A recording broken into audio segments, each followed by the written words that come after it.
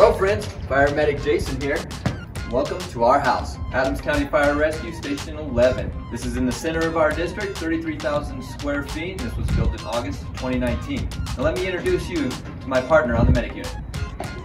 Hi, I'm firefighter Donner. Let's go take a look at the museum. This museum was built to house the history of both fire departments when Southwest Adams County and North Washington merged in 2015. We decided upon building the new station that we were going to put a museum to hold all the history between both organizations. Follow me and I'll show you where we spend our nights. So we run shifts, we run 48 hour shifts, so we have to eat, sleep, and live here. So let me show you where we sleep. Now this station has the capability of housing 12 firefighters out of here. We each get our own room. We run three shifts, A, B, and C. Let's take you upstairs and show you where we eat. At first sight, our kitchen looks like it may be oversized, but with 12 people in this firehouse, we need a large kitchen so we can do all the cooking and prepping. Each shift has two refrigerators and each shift has its own pantry. What do firefighters like to eat?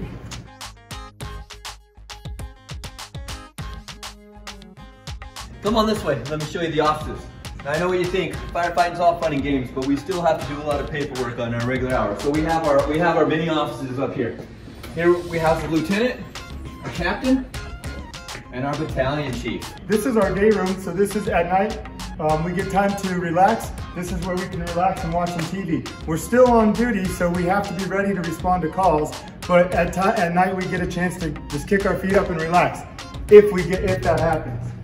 During the summer, a lot of our time is spent out here on the balcony. We'll eat out here, we'll hang out out here, just a uh, chance to get away, release some stress and, and hang out. Now that you've seen the balcony, let's go check out the gym. Here at Adams County, our firefighters are required to work out at least an hour a day. Over here we got our CrossFit, over here we got our cardio and weight. Next, let's step out of the bay. Show you where we keep all the apparatus. All right, so this station was built with uh, Tech Rescue being um, the main discipline out of this, this station. So as you can see, we have our rope course that we use for rope rescue. And if you follow us, we'll head up to the third floor. I'll show you our confined space. So as you can see in this area, this is meant for confined space. So we can practice. This actually drops down, as you can see, down all the way down. And we actually have a, a cement cell down there that we can actually climb into. Let's go downstairs. This station was built in three zones, and that's because cancer is one of the biggest threats to firefighters in today's fire service. We have a hot zone, which is where we keep all the contaminants. And as you walk into this way, it's gonna be the warm zone. The purpose of this area is where you can take your bunker gear off, strip it down and separate it so that you can put it into our extractors, and then you can come over here and get your second set of bunker gear to get yourself back in service. Now, after your gear is sent to the washer, you still gotta clean up yourself. On this side, this is the cold zone, and this is where the uh, firefighter's gonna go to their room wearing the gowns. Whew, that was a crazy call. Well, hey guys, let me get back in my room, get changed, and I'll take you out to the apparatus bay and show you all the cool stuff. All right guys, let's head out to the bay. So like I was saying earlier, this house is a, a specialty house with the tech rescue being the main specialty of this house. So of course, we house our heavy rescue. Basically, it does all our heavy lifting for us. All our extrication, uh, trench rescue, rope rescue, all that equipment's carried on there. We also have a uh, SAM, which is our safety and medical, and of course our battalion chief also runs out of here. This is our tower truck.